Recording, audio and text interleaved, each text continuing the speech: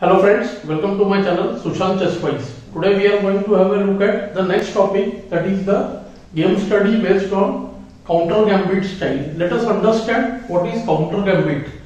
See, generally whenever a side plays gambit, the opponent has two choices. Let's take for example e4, e5, f4. White is sacrificing pawn in the opening which we call gambit this pawn is offered. But instead of taking the gambit or declining the gambit, well, we offer gambit ourselves. So that is when black plays a move like d5 himself and he is ready to offer the pawn on e5 or ready to offer the pawn on d5.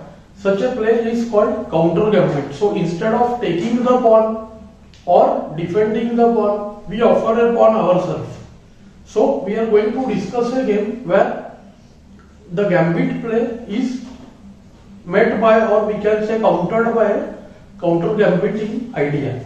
Today's game is basically continuation of a game or the idea which we discussed in lesson 117 where we discussed about the opening French defense e4, e6, d4, d5, knight c3, bb4. In that game what we saw White has various ways to give gambit of the e4 pawn and after qg4 he gets one of the pawn back. In today's lesson we will see how black can use a counter gambiting idea.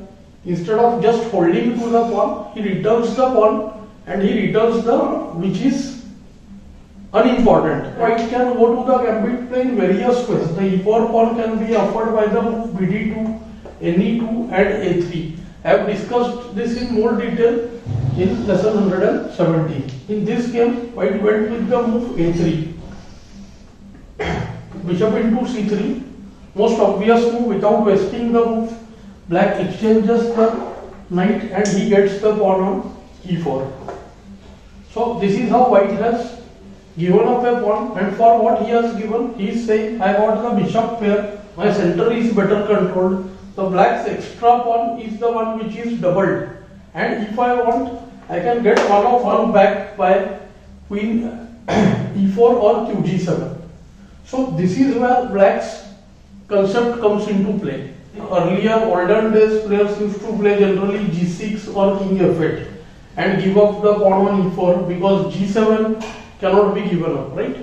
But in the modern play, what players understood, it is not just about the g7 pawn but if white is, uh, if black is able to hold this e4 pawn, then white's development becomes very difficult, especially this bishop and knight. The e4 pawn stops knight f3 and also blocks bishop d3. So this e4 pawn is very important. So here the counter attacking style or the counter gambit style comes into effect. Black goes nf6 offers the g7 pawn and generates very good play Let's see what happens. Queen takes g7. Almost forced, otherwise white will remain pawn down for nothing. So rook g8, queen h6 and a timely rook g6 will follow. Now the first point is because of the counter gambit the play has become imbalanced.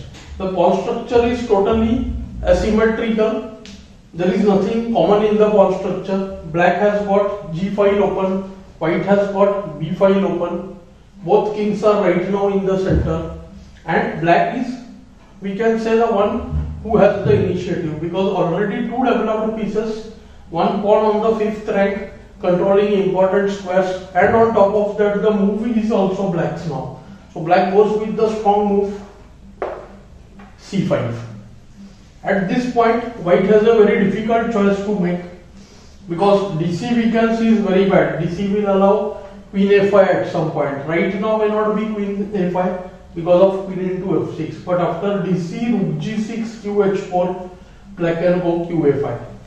White has to protect the d4 pawn and he has several ways. Immediate be3 will allow qa5 when c3 will be weak. So white goes for a better move knight e2. Knight keeps control of c3 and d4. Both knight is ready to go to g3 in many variations and this bishop can go to g5 putting pressure on the f6 knight. Of course, whenever bg5 comes, black has got the move rook g6. Black goes in c6. Now the play is revolving around the center on the d4 square. White can go bishop g5. As I told you, after bishop g5, rook g6, qh4. Many a times in these kind of cases, the move h6 comes to effect. Such a play was seen in one of the games by Bobby Fischer when after bishop h6, Fischer was white and black tried to generate play by the moves in g4 and e3. So first there will be queen a5. So cd, cd, queen a5 check and then ng4 at an appropriate moment. Here in the game, white went for a very strange move. At this point theory says that it's best to go for the move dc4 or uh, dc5 trying to hold the pawn. Although the pawns are doubled white has got bishop pair and knight can come to d4 in future. Maybe he can return one of the pawn. Black can do rook g6 queen h4 queen a5 as i mentioned and the play remains very unclear. In the game white chose the move bb2 far better as i told you was the move bishop g5 after bishop b2 white very well protects the d4 pawn but the bishop is very oddly placed on the b2 square. Bishop lacks space and it can be attacked immediately. So black to play here. Okay i want you to think for some time and try to find the right move for black. I hope you must have found either the move qb6 or the move rook g6 both are decent black first goes for the move qb6 setting an additional trap. Now after queen into f6, queen comes to b2 and a1, a3 and c2 all are attacked simultaneously. This makes the position clearly favorable for black. So after rook c1, white can be in trouble after the move queen a3 when the a pawn becomes a passed pawn. The important move could have been queen c1 supporting the bishop but white must have thought that after qc1, bd7, his pieces are very passive and black is ready to play cd, cd, rook c8, sometimes cd, cd, long castle and generate good play in the center. White is still struggling to develop his pieces properly as we know that moment the knight goes to g3, d4 will be taken. But qc1 was better as compared to the game. White went rook b1 and this creates a self pin the bishop is unable to move for a very long time. And there are serious problems. So black went rook g6 attacking the queen. Again here qc1 was perhaps the only correct move white went qh4 eyeing the e4 pawn in future he wants to go for ng3 white is also uh, trying to use knight f4 when knight attacks the rook and if the rook moves queen is attacking f6 that is the main reason for playing the queen to h4 but we see that black's initiative has already become quite dangerous. Let's count the developments and see. 1 2 3 4 plus the pawn on the fifth rank so we can count as five developments the pieces are very active they are all ahead look at white 1 2 3 and the rook on b1 which has moved but which cannot be counted as developed in this case. b2 bishop is unable to move. So just two developments that to the knight is still on the second rank. So the position is already passive. Black takes the initiative now. c into d4. C into d4. Bishop d7. And this bd7 move is the final phase of development. Rook is already eyeing the c8 square and black is looking to break the center any moment. Either long castle e5 is on the cards or rook c8 followed by knight a5, knight c4 is there. Here white has many ways. White went for the move knight f4. I told you the move queen h4 had idea of going knight f4, harassing the rook and putting pressure on the f6 knight. At this point, it's very difficult to recommend something good for white because we see that apart from knight f4, no other piece can move. White can consider the move g3, but after g3, there could be rook g4 at any moment. Right now, there is no rook g4, knight is attacked. So after move like g3, black can go long castle, and then he can try to move the knight on c6. The main idea would have been knight f4 and here black has to find the right move. Of course, black had seen this before playing the move bd7. So black to play and we are trying to look for a concrete variation. We can say that already it's like a black two player win position, but some complicated analysis follows. Just now we counted the development and we saw that black has two more and the move is also his. So comes the move knight d4, very strong, sets a trap, knight g6 loses by force. White has only two other things which he can try here. One is very important move bishop c4. The bishop comes out and white is about to castle and escape. Of course, here very interesting analysis follows. After bishop c4, black doesn't give white any chance. Black goes knight f5, queen is attacked, queen has only one place, queen h3, again rook h6, queen is attacked, again queen has only place on c3 and here white white is already in trouble. One, he can use the move e3. After e3, things look very difficult for white. Suppose castles, perhaps this is one of the only ways because after fe there can be knight e4. Knight e4 also allows qh check. fe knight e3 is very strong.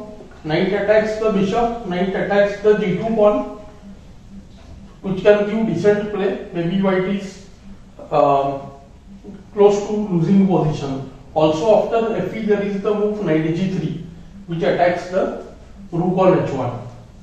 So castle, after castle it's almost black to play and win. ef2 check, rook into f2 and then comes the finishing blow. Queen f2 check, king f2, knight e4 check followed by knight c3 and then rook c8 follows. So black will be exchange up plus he will attack both these bishops. And the position is we can say that losing because black has an extra pawn also in that position. F2 king h1 then we see that this queen is overloaded. Black wants to use knight g3 mate. What should black play here so it's good if you have found the move 94. instantly game is over two threats on g3 and the queen is attacked. And do note that after the move qh8 this time just ke7 because the queen is attacked and mating threat on the g3 square. Do note that after bf6 check knight takes f6 we don't want the rook to go away from the h5 so bf6 check knight f6 no time for rook b6 because of knight g3 mate. No time for rook f2 queen f2 is also hanging. H8 is also hanging. Qb1 is also hanging. And black wins the game very easily. Let's go back to the game. Perhaps the most challenging line was the move bishop d4 where things look slightly difficult for black. After the move qb1 check. King goes to d2 and now suddenly f6 is attacked and g6 is attacked. But do note that the king position on d2 is very weak. And black has to find a simple tactic based on e3 check. After e3 check we are using clearance of the square. Knight is eyeing the e4 square. And in all variations there are different problems. If king takes e3 check qc1 check. If king comes to e2 then bb5 check. And it's game over. So bishop e3 forced knight e4 check now black has to the white has to keep the c2 pawn protected if ke2 then queen c2 check king f3 problem with kd3 is bishop b5 check ke4 qc2 check which gives a winning position so qc2 check king is trying to hide knight king f3, knight g5 check, kg3 and here comes another simple tactic knight f3 check. Many unexpected moves are there but we can make from this king position and black's active pieces that white is going to get mated soon. Force king f3, queen is attacked. No time for knight g6 because of knight h4 and after kf3 bishop c6 check and it's game over. So the game will follow extend for move or two, knight d5, bd5, kf4 and choice of mates by queen e4 and queen f5. So, but this was slightly more difficult to exploit as compared to the game. In the game, a forced series of moves followed and after the move knight g6 when white is actually challenging black to that the position is winning for black. So black a forced mating 7 here after the moves knight c2 check. Now if the king comes to e2 then bb5 check is possible. So king d2 queen d6 check black is trying to make the position as forced as possible. After the move kc1 very strong rook c8 and if knight moves away then the black knight will also move to e3 using a discovered check and bishop c4 allows uh, knight c4 allows qd1 mate. After the move bishop c4 here which happens to be a better attempt because now qd1 is not checkmate. Here black can go for just knight into c4 and after knight c4 rook c4 bishop c3 rook c3 kd2 queen can come to kb2 queen can come to d2 king a1 and rook a3 mates so all the moves are forced check bishop c3 rook c3 kb2 qd2 check even the move queen a3 mates instantly so king a1 and rook a3 mates. After king c2, we can already make out the position is lost by now.